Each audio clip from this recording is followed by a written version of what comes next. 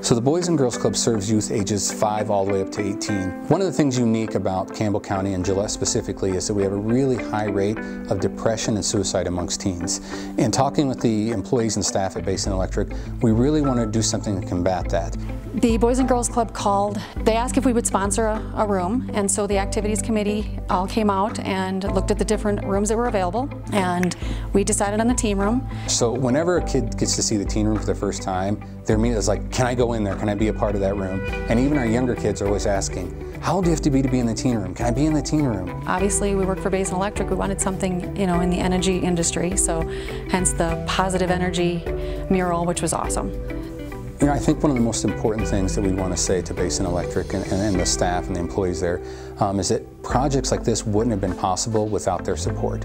Um, the club couldn't have redone this room and made it what it is, um, but more importantly, the impact it has for the youth who then recognize that name as someone who supports the community and supports them. Um, it's made a huge impact for us, but really for our teens and our kids coming up in the program.